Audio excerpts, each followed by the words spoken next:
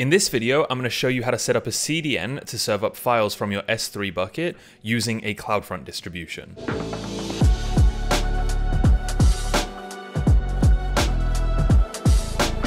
So this means that files in your S3 bucket will get distributed globally so that when users make a request for a file, it gets to them in a much quicker time with much lower latency. And first I'm going to show you how to set up the CloudFront distribution as the CDN, and then I'm going to show you how to integrate that into a Node application. And I'm going to be picking up where I left off in my last video, where I had an S3 bucket set up for this website called Instasam, which is just an Instagram clone. So if you haven't already watched that video, I suggest you watch that video, because then the code examples will make a little bit more sense. So right now I have no post, but if I go to create a new post and upload an image here, when I submit this, my web app is going to make a post request to create a new post and upload the image into an S3 bucket I have here. So if I refresh this bucket, I should see that it now has one object in here. And if I go back to the web app, we can see that it is requesting this image from the S3 bucket. So here is the URL to get the image from the bucket, this big long signed URL here. But before we set up a CloudFront distribution, I want to first check the performance of getting an image from the S3 bucket. So I'm just going to paste the S3 image URL in here, and this website is going to try and get the image from S3 from clients all around the world. And we can see that the closer we are to the S3 bucket, the quicker we can actually get the first byte of the image. But as we get further away, the latency increases a lot to a point where if you're in Singapore, just to get the first byte of that image would take almost a second. So the point of setting up a CloudFront distribution is to try and minimize all of these times so that it takes the least amount of time as possible for anyone to get the file, regardless of where they are in the world. So once we set up the CloudFront distribution, we can run this test again and see the difference between requesting just from an S3 bucket and from a CloudFront distribution. So like I said, I already have this app set up and I set it up in a previous video. So if you haven't watched that video yet, I recommend you check that out. But right now, I just have the images being stored in an S3 bucket, and all of the files in the bucket are private, and the only way to access them is through a signed URL. So you already need to have an S3 bucket set up where you are storing the images. Then the next thing we need to do is head over to CloudFront to set up a distribution for this S3 bucket. So I'm to open up CloudFront here, and I already have one distribution set up for a different project, so I'm going to create a new distribution for this project.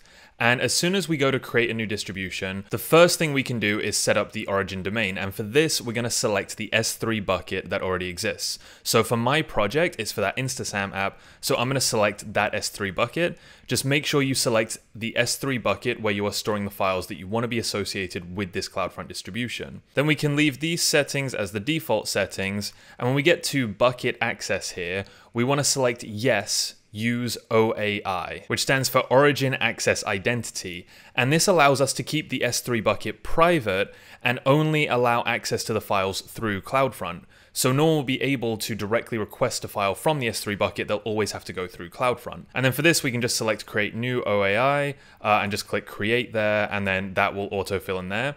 That will all be done for us. And then we want this to update the bucket policy for us too. So this will all just automatically set up the permissions so that we can't access things through S3, we can only access it through CloudFront. And that being said, we'll still be able to upload files directly to the S3 bucket. That will be necessary. It's just that when users go to access the files publicly over the internet, they'll have to go through CloudFront. We don't need to add a custom header. We could enable Origin Shield, but that increased the cost, so I'm going to leave that as no. For the default cache behavior, we want to redirect HTTP to HTTPS. We'll leave the allowed HTTP methods as get and head, since this is just for getting files. We don't need people to be able to do anything else. And then for restrict viewer access, if we select yes, we can set up signed URLs for our CloudFront distribution, but this requires us to do a few extra steps like creating public and private keys and setting all of that up. So I'm not going to cover that in this video, but in my next video I will go over restricting viewer access and setting up signed URLs for CloudFront. So if you haven't already, make sure you're subscribed and hit that bell icon so you're notified when I post that video. For the caching policy, we're going to leave this as the default policy, which caches files for 24 hours and I'll talk a little bit more about that later on in the video. We don't need to add anything for these settings here. We're not going to associate any Lambda functions here. Then for the location, we're just going to leave this as all locations, which is generally what you'll want to do because you want to be able to offer the lower latency to anyone in the world no matter where they're located. These settings here allow us to get more fine-grained control over which IP addresses can access which files, which we don't really need for this CDN. Uh, we could add a custom domain name here, which I cover in a separate video, but I'm not going to do that for this because it is just the URL of the images and not the URL people will be visiting and typing into the browser. So we can leave all of this as the default settings for everything here, uh, and that's it. We can create the distribution. And this can take a few minutes to set up because it is setting up the CloudFront distribution globally. We'll give this a few minutes while it says deploying. We'll wait for this to be deployed and then we'll come back and see how to use this in our web applications. So my CloudFront distribution is now all set up and this is the domain name to the actual distribution. So if I want to get a file from CloudFront, I can just go to HTTPS followed by that URL slash the object name as I stored it in the S3 bucket. So if I go back to my S3 bucket here and just copy over this object name for the only image I have here, I should now be able to see this image served up here, but instead of coming from the S3 bucket, it comes from the CloudFront distribution.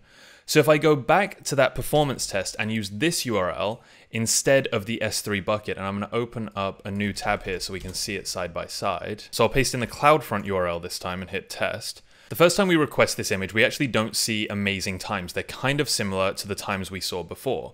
But if I make this request again, that image has now been cached in all of the edge locations globally, so the time it takes to get the first byte of this image from the CloudFront distribution is now in such a small amount of milliseconds, it's just crazy compared to what we had with the S3 bucket example. So this is the benefit of using a CDN. We significantly reduce the amount of time it takes for anyone to request one of our files for our web apps. So now let's see how we can use the CloudFront distribution in our node server instead of getting the files directly from the S3 bucket. So I am going to just copy the CloudFront URL here because I'm going to need that in my server. I'm going to head over to my backend code that I have from my previous video. And if I scroll down to where we're getting the posts from the database right here, I have an array of posts and each post has an image name and that's the name that appears in the S3 bucket. So just this random string here.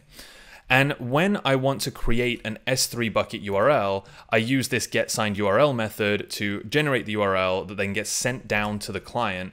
And that's what's being used to actually request the image here. And if we look at the network requests, I should be able to see that the image object has this image URL property that is the URL that's generated from that method there. So now instead of using this S3 method to get the signed URL given the image name, what I need to do is basically just take that CloudFront distribution URL and append the image name onto, see, image name, onto the end of that.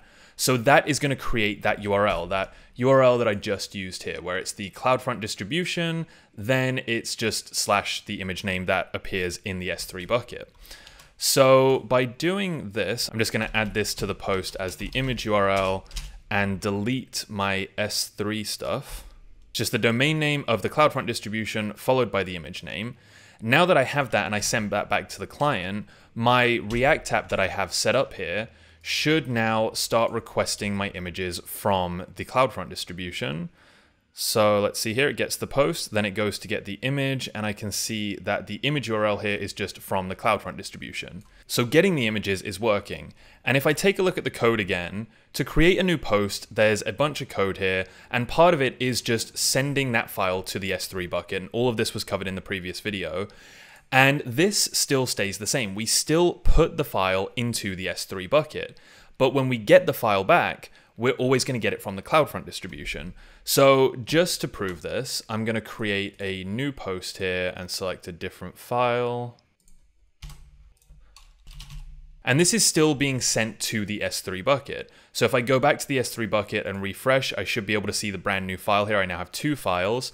In my web app, I can see that I'm viewing the files here, but instead of getting this image from S3, it's coming from the CloudFront distribution. So posting an image still stays the same. We still put it into the S3 bucket, but we're getting it from CloudFront, which makes it much, much faster every time we want to get a file. And remember, we always want our reads to be quicker than our writes because let's take an app like Instagram, for example. Someone really famous with millions of followers will post an image just once, and that can take a little bit of time. That's fine. But then if millions of people are trying to view those files, we want it to be as quick as possible for each of those people. We want that to be really efficient. So that's why making a GET request to get a file through a CDN is so important because it really reduces the latency at the point that we need it the most. But one thing to note here is that the URLs of the images are not signed. They will always remain this same URL. So once someone has access to the URL, it's going to remain the same forever. And this can potentially be a bad thing for security reasons or just because you don't want any person or bot or service to be able to request images whenever they want from your CDN. So I will be covering how to sign a CloudFront URL in my next video. So again, make sure you're subscribed, make sure you hit that bell icon so you can watch that video when I release it. But for now, what happens when I go to delete a post? So before I do that, I am just gonna copy this URL uh, and show that I can request this in the browser here. So this is the image that I uploaded to S3 and I'm requesting it through CloudFront. Uh, and this still exists in my S3 bucket. It's one of these images, and it still exists in my database. Uh, but right now, what I want to do is delete this image.